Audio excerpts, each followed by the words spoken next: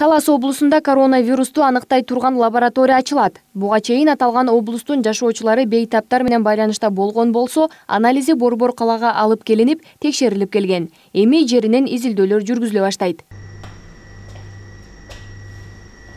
Кыргызстанда жалпы лабораторияда он төрт аппарат коронавирус оорусун изилдейт таласта ачыла турган лаборатория башка борборлордун ишин жеңилдетүүгө жардам берет. Анткени аталган лабораторияда күнүнө эки миңден көп анализ текшерилип жатат. Мына акыркы суткада эки миң сексен бир изилдөө жүргүзүлүп анын жыйынтыгында буга чейин ооруп жаткан он үч бейтаптын кайрадан тапшырган анализдери таза чыгып үйлөрүнө жиберилди. Бир сутка ичинде он үч бейтап ооруканадан айыгып чыгып кетишти.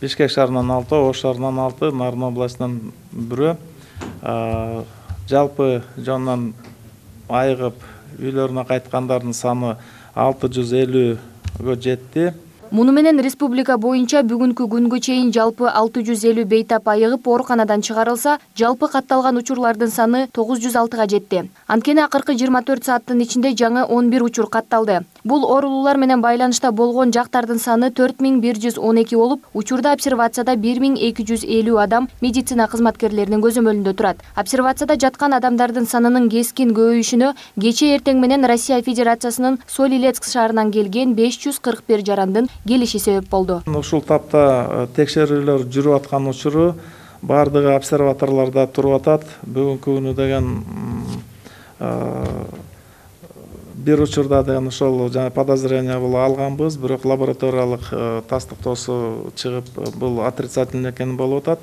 Калган бир нече лабораторияга бөлүп ошол беш жүз кырк бир киши көп болуп атат. Ошого бүт азыр тастыктоолор бүтө элек аны деген э, шаштырып эч ким кубалаган жери жок. Биз өз убагында жасап тастыктап баарын текшерип анкетирование жүрүп жанакындай э, иштерди даярдап ушул көзөмөлгө алганга даяр болуп учурда ооруканада эки жүз кырк төрт бейтап бар. Алардын катарында алтымыш үч мед кызматкер. Анын ичинде дары дармектер менен камсыз кылуу департаментинин беш кызматкери бар.